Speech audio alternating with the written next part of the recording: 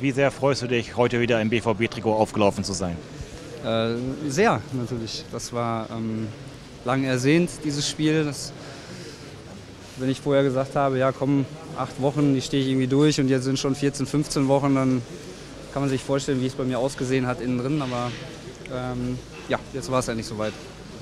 Nach exakt 213 Tagen, genau wie bei Nuri, besonders schöne Geschichte. Ihr habt auch lange gemeinsam ja, um das Comeback gekämpft. Eine besonders schöne Geschichte, dass ihr bei danach noch die Doppel-6 gebildet habt.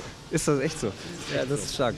Ähm, ja, total. Also wir verstehen uns wirklich gut, sind echt gut befreundet und ähm, das stimmt. Also wir haben uns in der Zeit äh, ja, immer bei Laune gehalten und, und gegenseitig ähm, gepusht. Das geht für alle anderen auch. Marco ist da leider auch immer wieder dazu gestoßen mit seinen Verletzungen. Ähm, das hilft natürlich, wenn man durch so eine Zeit mit, äh, ähm, mit jemandem durchgeht, mit dem man gut leiden kann.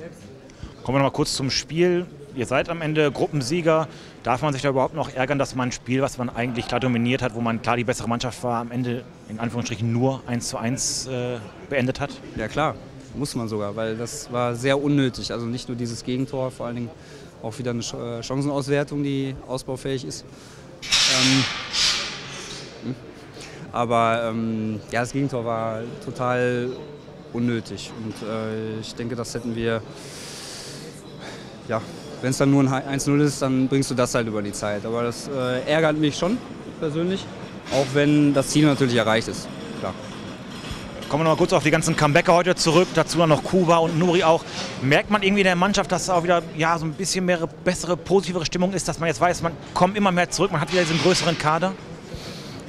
Ja, ich denke schon. Also das, ähm, es ist halt in der Zeit, in der du äh, wieder da bist und trainierst, das war bei Nuri, Kuba und mir schon jetzt eine Weile, aber dann noch nicht ran darfst. Das zehrt so ein bisschen an den Nerven und heute war es dann endlich soweit. Ich glaube, das gibt uns allen auch nochmal einen positiven Schub.